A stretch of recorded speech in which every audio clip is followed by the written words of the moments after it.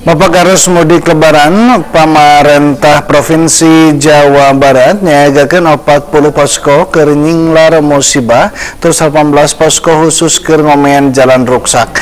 Lian itu Kepala Dinas Bina Marga dan Penataan Ruang Jabar optimis 50% ti 364 jalan ke asup sasak ruksak pungkas diomean di naha min 10 Lebaran.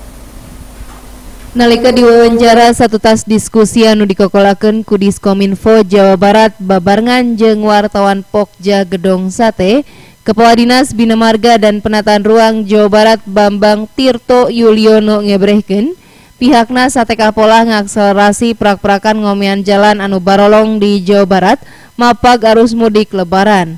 Dirina optimis tilu ratus lima puluh tujuh liang di dua ribu tilu ratus puluh dua koma delapan belas kilometer panjang jalan provinsi bakal pungkas di omean paling leir hamin sepuluh lebaran.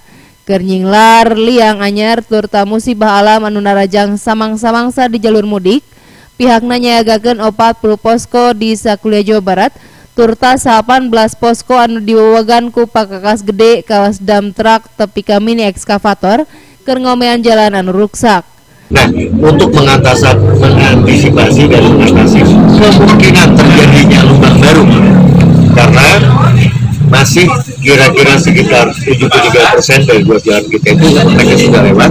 Kita uh, akan menyiapkan 40 posko tersebar ya di Jawa Barat dan ada 19 posko DRU jadi peralatan dan material juga untuk kita bisa memobilisasi mengantisipasi adanya kerusakan-kerusakan jalan maupun jembatan. Tapi mudah-mudahan begitu ini uh, kekhawatiran uh, uh, akan terjadinya uh, bencana bisa kita uh, minimalisir ya. Sajeroning itu Bambang boga target 50% tina 364 km jalan ke asup sasak anu ruksak bakal pungkas diomean di nahamin 10 lebaran.